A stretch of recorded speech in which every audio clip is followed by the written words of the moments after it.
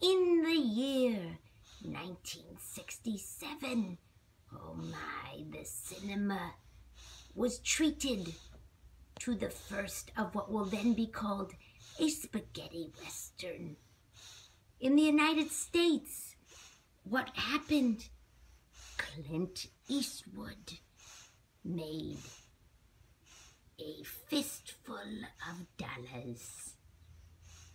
So, in celebration of our 1967 Mr. Bentley's World fans, my lady and I give you this.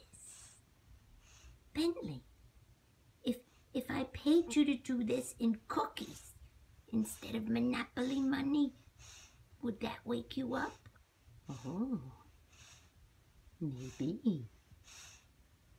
So here is to, oh, God bless you. He's like, Ma, do whatever you need to do. Leave me alone.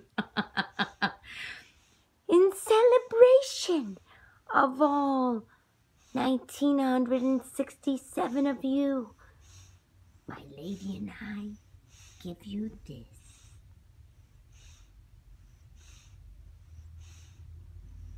Bentley, do you want spaghetti tonight?